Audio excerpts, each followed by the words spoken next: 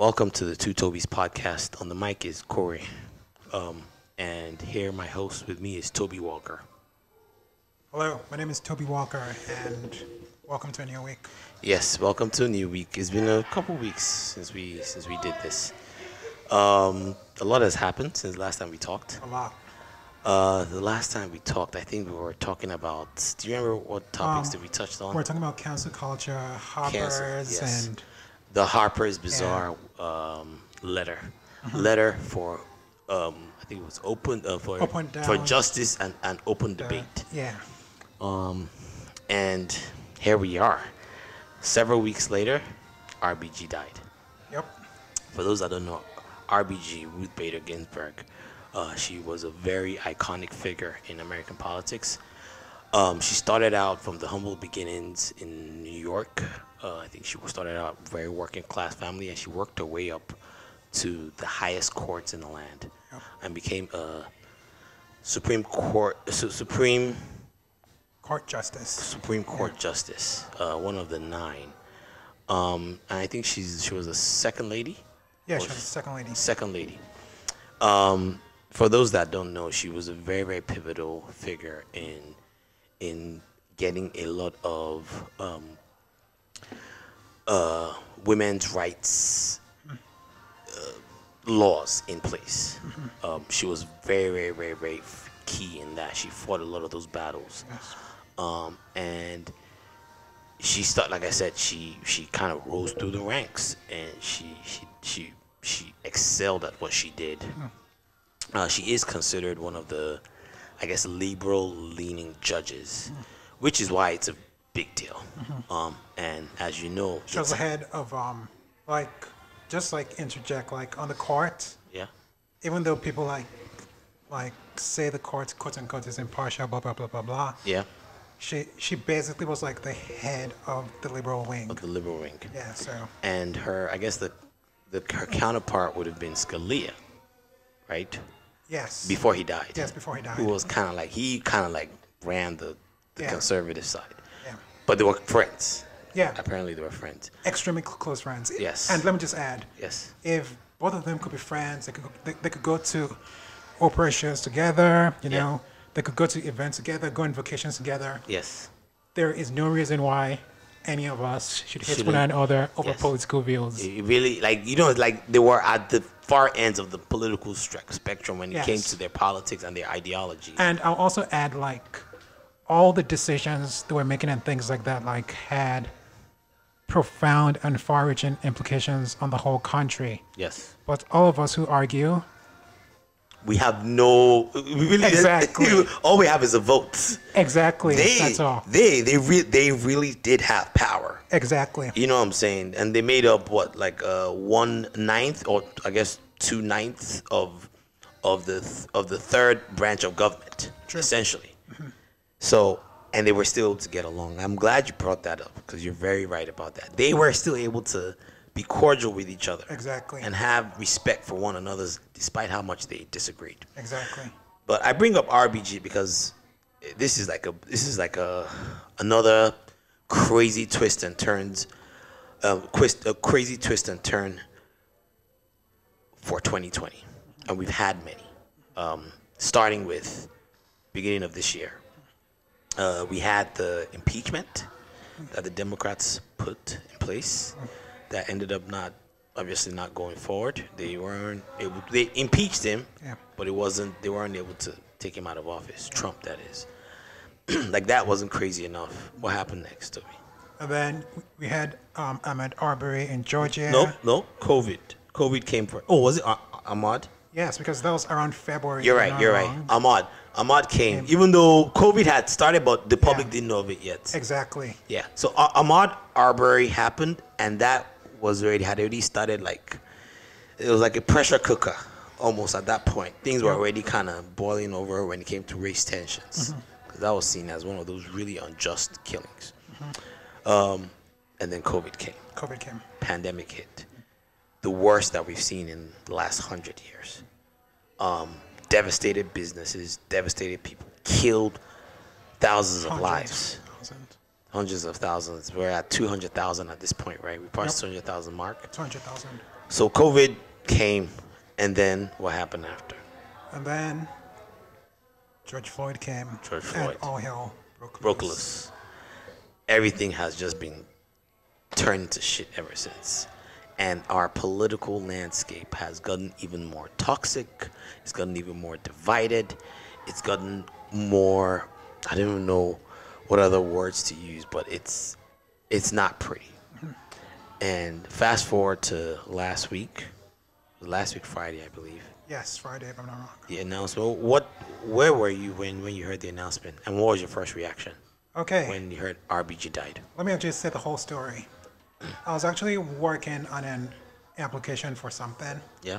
and for some reason, I decided to check Facebook because Facebook distracts everyone. Yes. And I saw a notice on my Facebook, which indicated that you know someone flagged my name, and I was like, "What?" And then I checked, and the person said, "We have a winner here." And basically, what happened was, um, sometime last year, I believe on the 29th of December last year, yeah. someone like posted a message on, on Facebook and said, "Any celebrity death predictions for this year?" Uh-huh. And I said RBG. What you did? what made you say that? Um, She She had beaten cancer. she has been having health issues for a while, mm-hmm. and there has been so much talk about is she going to survive till the end of Trump's term or even Trump's uh-huh. whole eight years? Yeah. And just knowing everything around like the following she had, the kind of you know celebrity around her name and things like that. That was something that just came to mind. I was like, "There's a chance she might not make it through." Really? 2020. Yeah. Now, now let's keep in mind, right? Mm-hmm. RBG, they, they, it was said that she had considered leaving during Obama's administration. Is that is that correct? Uh, okay. Or was that a rumor? Actually, let me actually explain what happened during the Obama's ad- administration. Like, during the, if you remember, during the Obama's administration, the Republican Party took control of the Senate, I believe, in the midterms of 2014. Yes. And people told RBG, I believe, like in 2012, 2013, that things are still safe right now. Yes, and that, That you can leave. Leave right now while there's a Democrat Senate, a Democrat president, so that you know he can change, you know, who will who will take over from you. Yes. And she basically said no. And obviously what And what was her reason? Was it because she wanted she she thought uh, the people have speculated that she thought Clinton was going to be the next president, and she wanted to be picked by a by by the first female president. Exactly she wanted the first female president to pick her. I mean, no offense to the dead or anything, but that was such a poor calculation. I mean, Absolutely. Obviously, 2020 is hindsight, but I mean, like- but still, Absolutely. Like one thing I would also say, and this is kind of going off on a tangent here, and mm-hmm. once I say this, we should quickly go back on track. Is mm-hmm. even as much as around the 2012, 2013 time, yeah, obviously no one could possibly see all the political developments that have taken place since then. Yeah. In terms of Bernie Sanders, in terms of Donald Trump, yeah, even I myself, as far back as then, I could tell that the next few years went very predictable. So, like, let me give a solid example. yes, In 2012, shortly after Obama won re-election, mm-hmm. he used an executive order to do DACA. yes, And I remember at that time, one of the things I said was, as much as I feel that yes, something needs to be done for the kids who were brought here, yes, I felt that like the whole technique for going about doing DACA is fundamentally wrong. Even it, it wasn't constitutional, yes, and, and he admitted even it. Obama said uh, 20 times that I do not have the power, and then woke up said- one one morning and said, And and and for those that aren't as, I guess, you know, politically savvy or whatever, can you explain what what you mean by it, it wasn't consti- it wasn't constitutional what he did? Can, can you explain Okay, exactly what he did with DACA? Okay, to begin with, DACA, I believe, is- is called de- um, Deferred Action for Childhood Arrival. So, Yes. like, the whole idea is Simplified. people who came to this ki- to this country as kids with Illegally. parents who who came illegally. Yes. Who get like a kind of of um, amnesty Exception. whereby they'll be regularized and things like that. And Yes. I know that like they tried using the whole legislative routes to Yes. actually enact DACA, And even as far back as 2010, and it fell by I believe like three votes, two or three votes or something, Yes. and DACA wasn't done.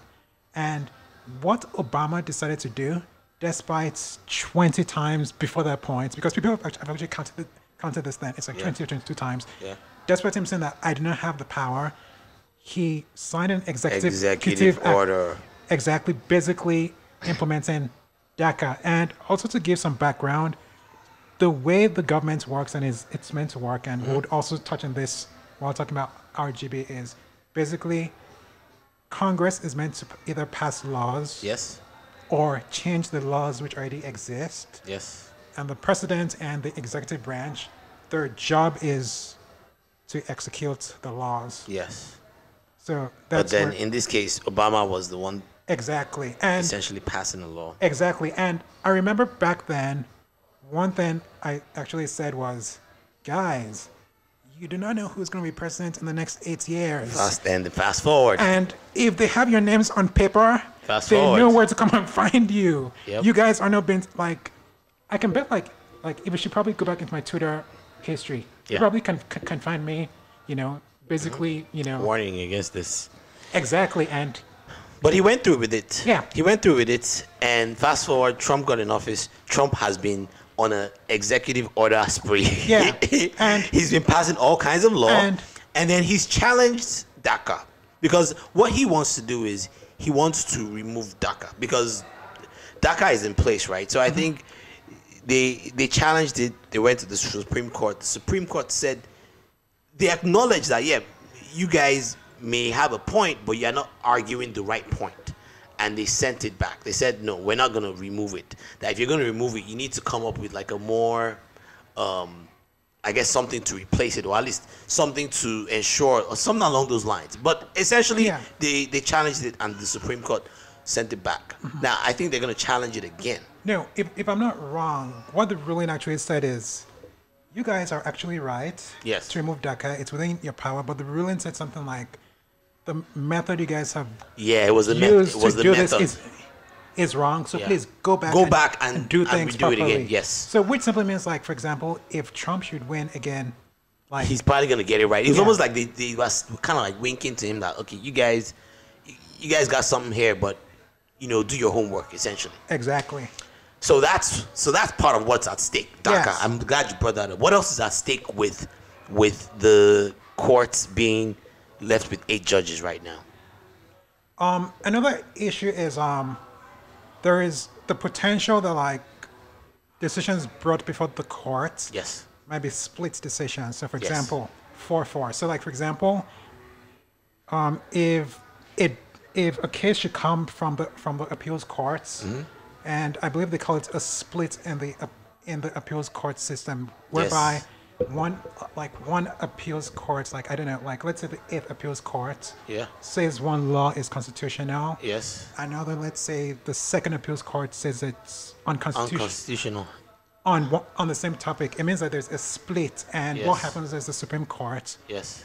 has to have the final say. And if the Supreme Court itself is split when things like that come up, it simply means that the law will revert revert back to what it was before the Before. Yes. Yes. So now let's talk about like something very critical and what everyone's talking about. Mm-hmm. There is the whole, you know, elections coming up. Yes. And people feel the elections might be contested. Yes. Now, and, it- and it, it most likely will be, Yeah. especially if there is mail-in ballots. Exactly. So now, if the Supreme, like, if if the election is contested, like in the year 2000, Yes. and you only have its judges on the courts, Mm-hmm. hypothetically, it means that there might be a split decision, Yes. and it's things like that that you know Maybe a split decision. Yes. that that complicates Yes. everything. So, what they're saying now is Trump is probably going to nominate somebody. Yes. But the Democrats are saying in Obama's last term, right? Mm-hmm. The Republicans refused to pass, to even see Obama's nomination, to even interview him. Mm-hmm. They didn't even allow it. And their justification was that, well, we're in an election year. Um, and I guess, and they said there's precedence for this, right? They said we're in an election year, and as a result, we have to let the people decide, and we have to let we have to see where we end up after the election, and then we can consider judges. And now there's been some back and forth. Some people say the precedence is based on the presidency and the Senate being split between two parties. This year we have the presidency and the Senate the same party. Yeah, true. They're not going to pass up on that. Then you now the Democrats are arguing that well because we did that for Obama, right? Then we should have the same president and, and respect the the people to make that decision.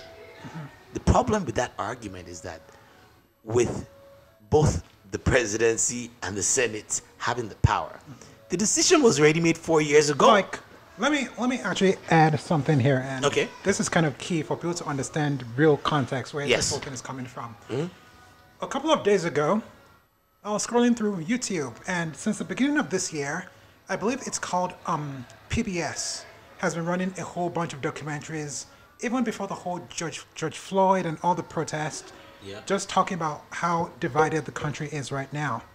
And in the latest iteration and series, there is there's like a new um, PBS documentary called Supreme Revenge, and ironically, that thing was released a couple of weeks before RBG died, and the whole premise is, in a sense, people must kind of understand where things are coming from Yeah. for us to understand why we're where we are right now. I'm gonna throw out something.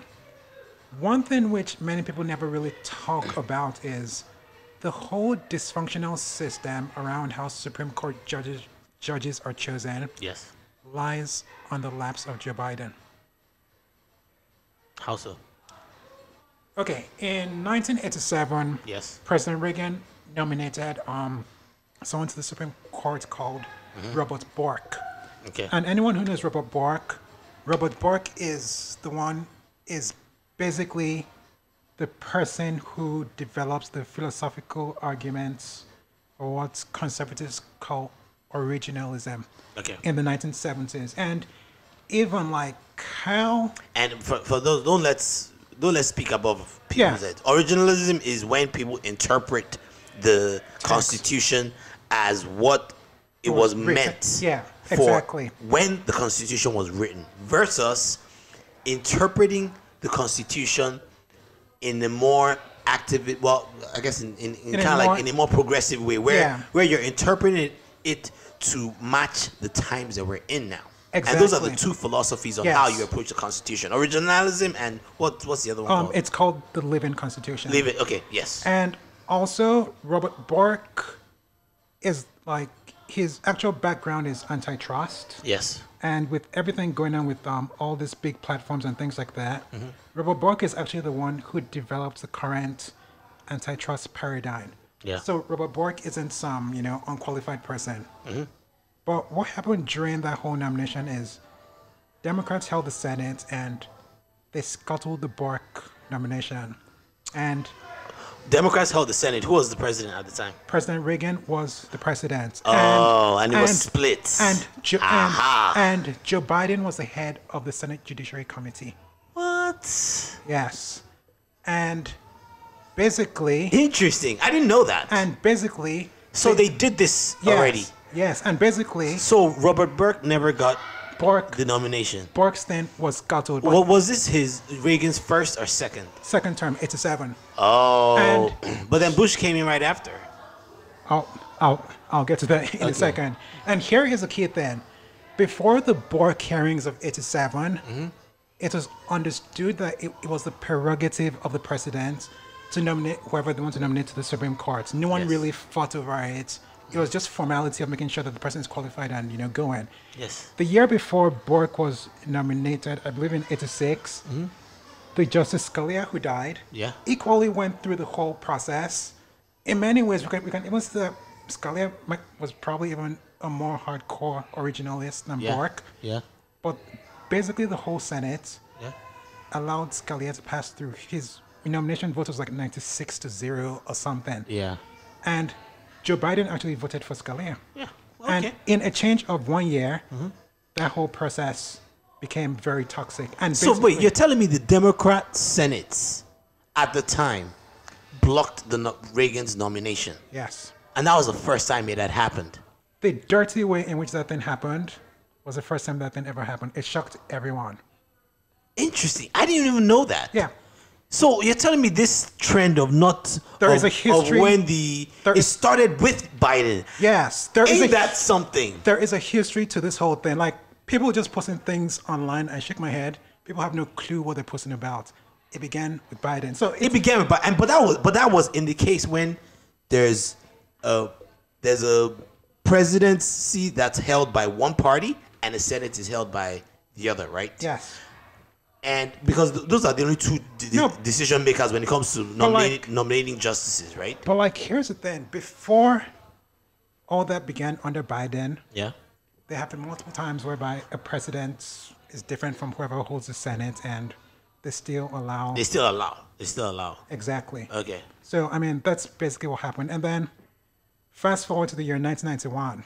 Yeah. There, there was there was also the Clarence Thomas hearings. Oh yeah, that was that was messy. Joe Biden was also the one in charge. Yeah, it was. And then, you then had the Kavanaugh hearings. Oh. So basically, there is a whole terminology called Borkin. It means you try and sink a candidate. Now, here's the here's Wait, wait, wait. wait tell what what does what what Birkin? no Borkin. Like Borkin. When they say Borkin, Yeah. it it means sink his nomination.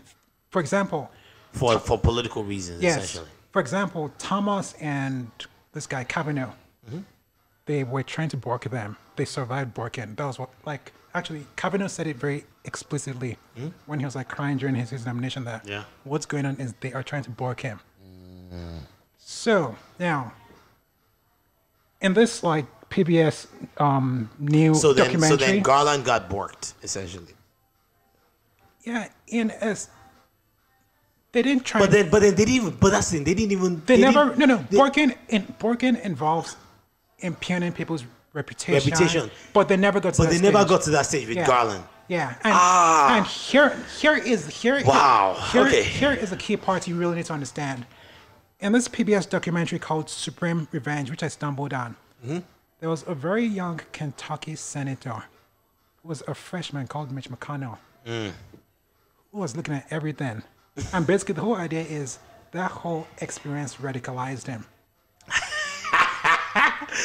The So- chickens came home to roost. So basically, like McConnell today is basically doing revenge. He's like, yo, I seen this joint, man. I seen, I Exactly. saw all this stuff happen in front of me. And I would also add something like why, like the whole um, nomination process is so contentious, and I feel it's something people really need to understand. yeah, in America, they tell us theoretically that hey, the way government happens is you have a Congress which passes laws, Yeah. a president which executes the laws, Yeah. um, a court which interprets the laws. That's kind of wrong. Today in America, Congress isn't involved in governance. yeah, Where government in America takes place is in the courts and in administrative agencies. yeah, yeah, That- yeah. That's where government takes place. Like the whole thing of there's a Congress. Congress is all a show and a shell. Yeah. Like so, basically, everyone understands that whoever controls the courts, you are basically controlling how policy is done in this country. Yes. That's why this whole process is It's getting so much more contentious. exactly. And it, it is probably also as a result of the fact that our politicians are are becoming more and more beholding to people outside of the constituents and more to Exactly. corporate interests. Absolutely. And that and you know that problem has only progressively gone worse. Mm-hmm. So as a result, it, it the, the legislation is just they're just And- there. They're just figureheads essentially. I would also add something like one thing like like Democrats are actually saying is that like if Donald Trump goes ahead and fills the courts, what they're actually going to do is they're going to try pack the courts. And Yeah, and by packing the courts, what they really mean, right, is add additional Justice. justices. Yeah. So and, and, and, and, and when they say that, what that signals to me is they've conceded that look, these guys are going to get away with this because they are going to nominate Yeah. their, their president, uh, their Yeah. the SCOTUS. Um, the person who is being considered right now is Amy Coney Bar- Barrett. Um, she is also an originalist. She clerked under yeah. Scalia. Uh, so and she's a Catholic also. Yeah. I mean, they, I've been seeing some smears coming out about her. They're probably gonna try to bork her too, right? At, this point, they are gonna bork anybody that, sh- that shows up. At this point, it's it's a it's a scorched ear- earth, Earth- a- earth- approach campaign, for everything.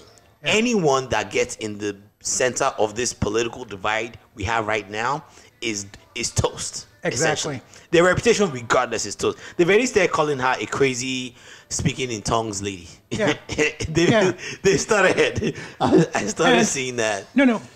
But like, there is something key I must really touch on in this whole courts, courts parking thing. Yeah. What everyone kind of figures is that if they should try to pack the courts, it will hmm. delegitimize the courts. Because it'll become very It will. it will become very obvious to everyone that, that this whole thing is, is politics and it's Yeah. not a bunch of, you know, you know, judges who do not have their own preferences. But here is what something else some people are also saying. Yeah. And I'm not gonna lie, I kind of buy into that argument. Which argument? I was listening to, to a podcast by someone a few days ago, and the person brought in some professor who's like an expert on the courts, has written about Jefferson and things like that. Yeah. And the man was like, you know, that as much as you know, he might not be for the politics of the Democrats, mm-hmm. he actually wants them to expand the courts. He said if they should expand the courts, the scales will fall off everyone's eyes that the courts are a political instrument, and it will force the whole country to begin telling Congress that begin doing your job. Hmm. So he said, he said, as much as you know, he might not be for their politics, Yeah. he does actually want them to expand the courts, so that like It's never happened though, or has it? it has happened, and I'll tell you how. Oh. Um, in the late 1860s, Yeah. the court was expanded and then they reverted back its size, I believe, under President An- Andrew Johnson. The fir- Really? the first president to be impeached. Yeah. And why, at the time, they reduced the size of the courts mm-hmm. was to ha- basically have favorable, you know, favorable court rulings. Yeah. And and you know prevents Johnson from being saved. But President Roosevelt also tried to expand the courts in the 30s, but there was a public backlash against that idea. Hmm. Because what happened was, again, some history here. I believe up to 1938 or so, yeah. a lot of Roosevelt's of Roosevelt's New Deal was ruled unconstitutional by the courts. Hmm. And Roosevelt was frustrated and began saying that he wants to expand the courts. It, so there's a trend here because you named Andrew Jackson, you named Roosevelt, Yeah, you named um, Ronald Reagan. yeah. What? And then and Look. then eh, wait, no, let me finish. And then now we have and then we Mitch have McConnell and then no, and- and then we have Obama and then we have Trump. Yeah. What, what like what would you say all those presidents have in common? They were they were very divisive. Andrew Jackson was True. a, was a flamethrower. No, no, not Andrew Jackson, Andrew Johnson. Oh, Andrew Johnson. Oh, sorry. Okay, sorry. But but Andrew Johnson was another divisive, Divisive. drunk, and yeah, yeah. But, Roosevelt too. I mean, obviously, he was very divisive too. yeah, Ronald Reagan, he was. Divisive. He's he's one of those presidents that. Everyone has a strong opinion. on. Democrats, like everyone has a strong opinion. Like you talk to Republicans, they're like, he's our god. You talk to Democrats, he's the devil. He's the devil. And then Obama also. It's funny, Obama, the way Obama governed, he wasn't. He wasn't that divisive in his governing, but he still el- I elicited this, I will say something. this strong emotions. I'll say something about Obama, and this might kind of come out as controversial. To me, there's no difference between Trump and Obama. Policy wise, or in terms of how they Temperament. Obama. temperament, Obama is a more polished version of Trump. temperament. Yeah. Explain that. Where Trump might be very blunt, and Trump might just say what he wants to say, and Trump will say it in you know two words. Yeah. Obama will weave around, Mm-hmm. you know, dazzle Oh, you people. But at the end of the day, because like what really made my eyes fall down, okay, not my eyes, um, the scales fall off my eyes was, I was listening to um Obama's speech during John Lewis's um John Lewis's um, funeral, Yeah. and where he began talking, I just looked and said, "Wow, this could drop out of Trump's mouth. This is something Trump is capable of saying." Because one thing about Trump and also Obama, you people must never forget, I consider both of them populist. How how is Obama a populist? Remember how Obama ran in 2008? Yes. Obama ran on decrying the whole system, how it's full of lobbyists, how he's, Yeah. he's he not ran a, on hope. how he's not a member of the system, but obviously with time, all that talk, He he became part and pa- um, Yeah. parcel. which also goes to show, and this is kind of going on a tangent, we'll come back, is that like the whole populist sentiment Yeah. did not begin with Trump. It's been around for well over a decade. Hmm. Okay. Like what- So so in a way, Trump was the reaction to Obama. He, not- he, he was the I guess he was the backlash. no, I I didn't even buy that whole. You don't thing. buy that? I didn't even buy that whole thing of, of Trump was a backlash to Obama. I don't buy that. How Yeah. how did then how did Trump end up in office? Because that I mean that that's as Okay, un- like- unprecedented as it gets. You know, like here's the main thing. Trump tapped into sentiments which already existed. Because here's the thing. As much as Obama was a hope and change person, he talked about how corrupt the whole system is and things like that. Obama pretty much made peace with the system almost immediately and just jettisoned the whole talk of, you know, um, lobbyists control Washington, D.C., and, and things like that. But Trump is a person who not only during his campaign was he talking about that, but kept knocking on this thing even while president. And I would also add, okay, let me give like a very good, good, um, good example. One of the things with Trump has been this whole thing of um, fake media. The media is the enemy of the people, and Yeah. things like that. The truth about the matter is, it's a wrong interpretation to say that Trump introduced those sentiments into the American political sphere.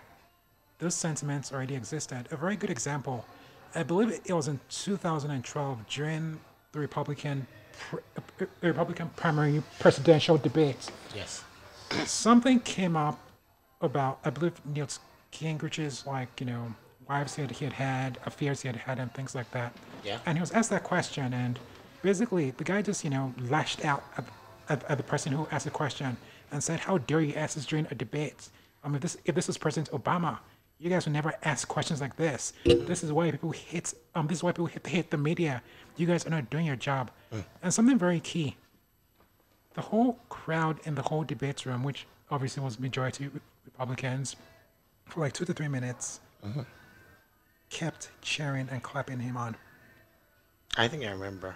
I think I remember that. Kept happened. cheering and clapping him on, meaning that all these things to do with like you know how the media are the enemies of the people, fake news.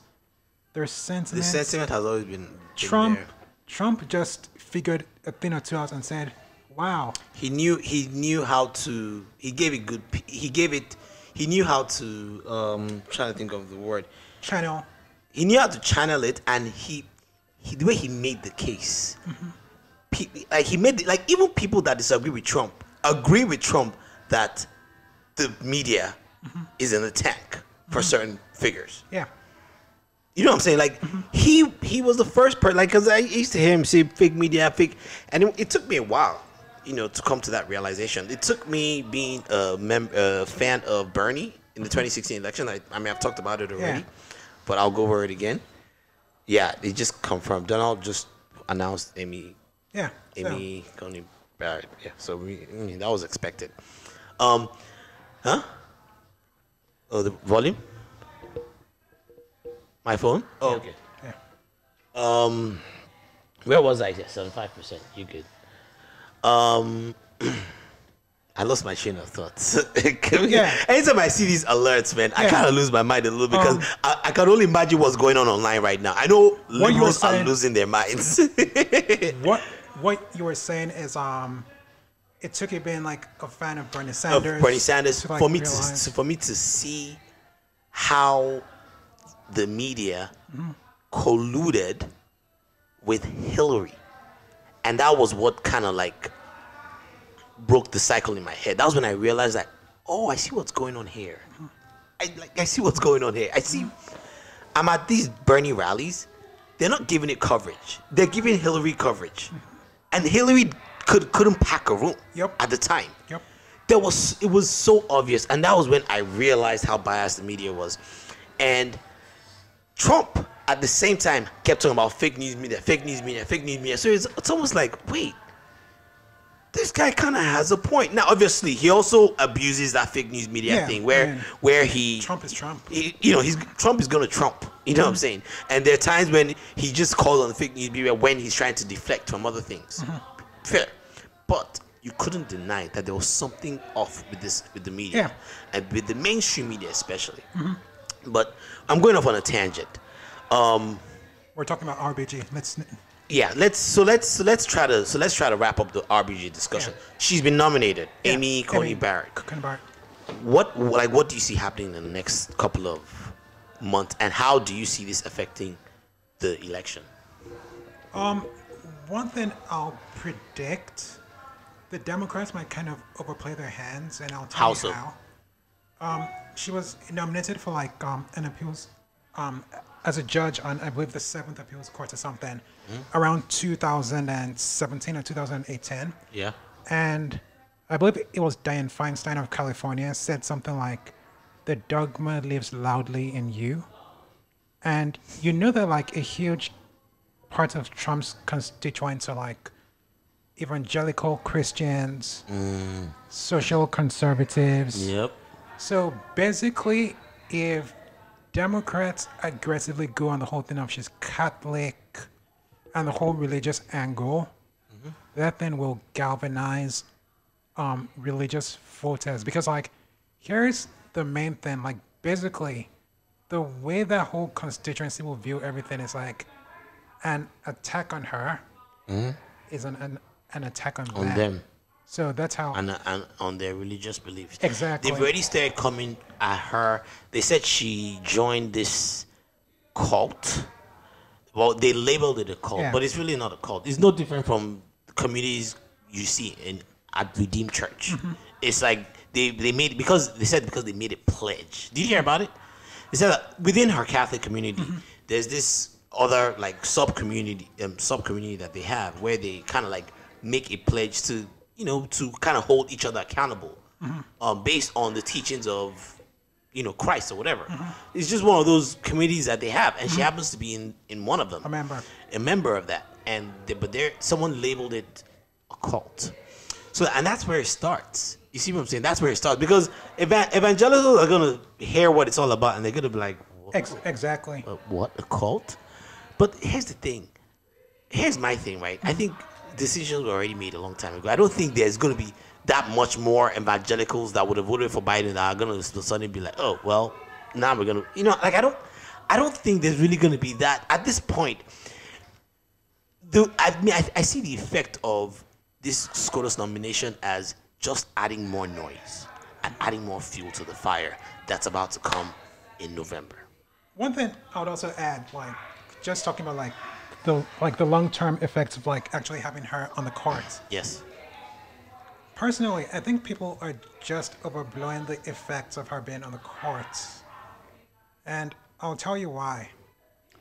I do not necessarily think the courts will all of a sudden become as conservative as, as people imagine. I do not think so. Like, the history simply doesn't back that. Because there's like a very good history and trend of judges who are nominated by Republicans Yeah. not living up to the hype people put around them. Yeah. I mean, the, Ro- Roberts is one of those judges. He, he's cited on a, a bunch of cases now with the liberals. In fact, he's he's kind of considered a, No, here's the thing. Here's the thing about Roberts. Yes, on the outside, it looks as if he has sided with them, but in many cases, Roberts just simply says, "You guys go back and think this thing all over again. Please come back with some more, you know, well-reasoned arguments." Because here is the main thing: You also shouldn't forget that Roberts is like the head of the courts. He's, he's, he's the chief justice of the whole country. Yeah. And part of his whole thinking and what bothers him is maintaining the legitimacy of the courts, how it looks in front of the whole country. But how did that happen though? How did what happen? I thought it was by by seniority, right? Okay, here's what happened. I believe when Roberts was nomin no. Roberts came during Bush's time. San- Sandra Day O'Connor like left the courts. That Yeah. was the first lady. Yeah. They tried replacing her with another lady, Harriet Miers, and then the conservative base had a backlash Okay. against her nomination, and they had to withdraw their nomination. Okay. Then, I believe, is the order right or wrong? Yes, I believe they then brought in Roberts, Y- Okay. and then while they brought in Roberts, and they were trying to go through the whole process, Yeah. the Chief Justice of the country at the time, Rehnquist, died. So, Okay. ba- so basically, Bush promoted Roberts from being an associate nominee to nominee for Chief Justice, and then brought in Alito to fill the, that spot. so spots. yeah, so so that's how Roberts became the Chief Justice. But but then you have Clarence Thomas. I get well. Yeah. They, they, they always say Clarence Thomas has always taken like a backseat approach to to Yeah, to things. He's he's like the more quiet one out of the bunch. I mean, yeah, he's quiet, but people have like given it lots of tropes around him being quiet about, you know, meaning that he doesn't know what he's doing. But really speaking, if anything, for for like the so-called conservative legal movement, mm-hmm. Thomas is the boss. Like, basically, mm. Thomas is where, like, Thomas is where everyone gets all their intellectual ideas from. really. Yeah, so, so so like basically in this court right now, Thomas is basically the head of the conservative wing, not even Roberts. Hmm. Not even Roberts, and um, another another thing on the ballot is the whole abortion thing, the abortion fight. I know, another issue which I kind of think is overblown. You think so? I'll say, You really you because Kavanaugh has been on record saying that he thinks. Well, he said that he doesn't he doesn't like the idea of challenging established. They call it like established law or whatever. Like stare decisis. I believe that's what it's is, called. is that what it's called? Yeah. Like something that they don't want to undo certain things. Amy, however, has challenged that. Mm-hmm. Um. So, and and what we're talking about here is really Roe v. Wade. yeah, It's the idea of rolling back Roe, Roe v. Wade. I mean- now it's happened before that they've rolled back certain laws. It, it's it happens very rarely, but it's happened before. let me actually kind of go back to what I was saying about. I believe people's worries are overblown. The last time Roe v. Wade was challenged, a Republican-dominated court basically upheld Roe v. Upheld Wade. Roe, Roe v. Wade, right? So, I mean, like, it's really questionable. And I'll also add, because we're talking about RBG, mm-hmm. even RBG, who is a fan of Roe v. Wade, mm-hmm. and is basically one of the people who helped, you know, in bringing about Roe v. Wade into being in the 70s, mm-hmm. is actually on record as saying that Roe v. Wade was a mistake. She said that. Yeah. Really? Yeah, she said it was a mistake. I'm gonna I'm gonna check. Yeah, check it. She has actually said it was a mistake, and I'll see why she said it was a mistake. She said that at the time, people they never could have envisioned that almost 50 years later that it'd be such a contentious issue. Really? And she said that she felt that what Roe v. Wade ended up doing was uniting Protestants and Catholics together. So like all the whole thing of you know Reagan in the 80s and things like that, she feels like it was a factor that um, contributed to the the rise of of the right, like in the late 70s, early 80s. really? Yeah, she has like, she has actually said that in a way it was it was a mistake. Interesting. I'm trying to find, Yeah. but I don't want to go through this long. Yeah, I mean, like, all, like all I'll just say, and people can go down that rabbit hole and you know, go read the things up yourself. I'm not gonna say them on air. She has said a lot of what I'll just simply call interesting things about Roe v. Wade. Uh, did you hear what she said about Black Lives Matter? What did she say? She said that Colin. Hold on, let me look it up. I know, I know, like she said, like Colin Kaepernick like kneeling for the flag. Was, Oh yes, yes. dumb. So Col- Colin Kaepernick. yeah, Yeah, so it was Colin Kaepernick. She said it was dumb that the idea of kneeling for the flag. She kind of just said it was nah, it was it was silly. In in that something. I mean, look, here, look, here is the main thing, and I feel it's what people like kind of, kind of need to understand about her is, I feel she comes from a generation that's more, should I say, calculated, mm-hmm. introspective in what they do, Yeah. and she can like see that look in kneeling there is a potential that people who you might be able to somehow persuade mm-hmm. you're putting them off that's probably what she's she's she's thinking Yeah. because i'm pretty sure okay don't let me speak for the dead but like there's a high chance that like like on issues like you know that colin kaepernick is talking about Yeah. she might be in agreement with them but she might be like look Her way, his way of doing it. I just don't agree it. with how you're going about doing things.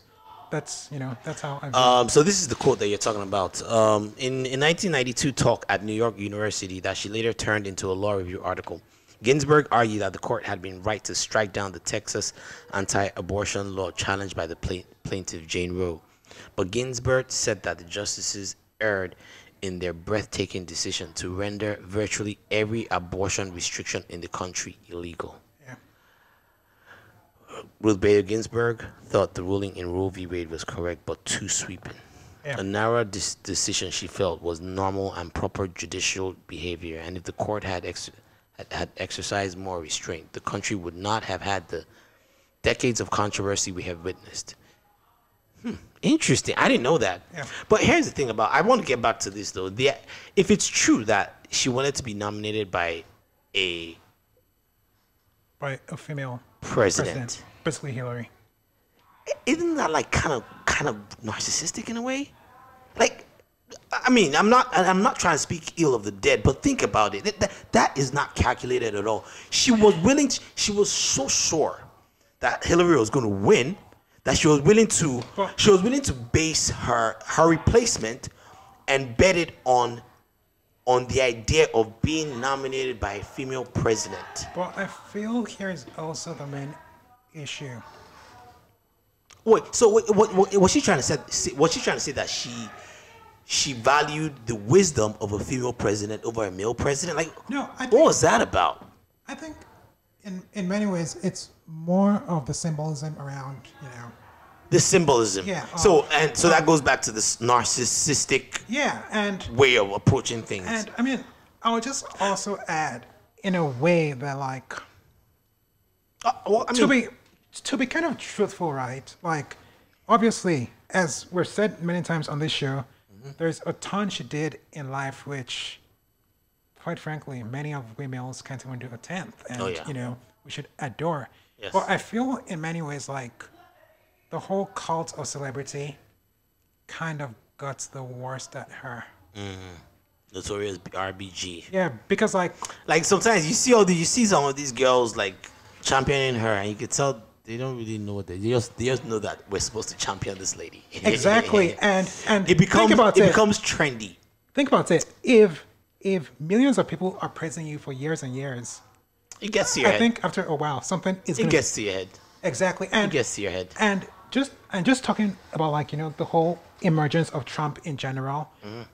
Also, even up till the very last minute when Trump was already candidate was on the ballot, Mm. Everyone assumed that Hillary will be president. Even Mm. Paul Ryan assumed Hillary will be president. Yep. He did. So it's just one of those things no one ever saw coming. Yeah, but as a judge, yeah, you're really not supposed to get in the weeds of the politics. You really aren't. You're supposed to stay away from No, it. but it comes back to what we're saying. There is the myth or thoughts about how you know judges are impartial. It- she she, But she, in she knows she knows their power. She knows how powerful they But are. in reality, judges are not impartial. Like those guys set like breathtaking decisions and They do, man. They into- do. But Trump has been packing the courts. He's Yeah.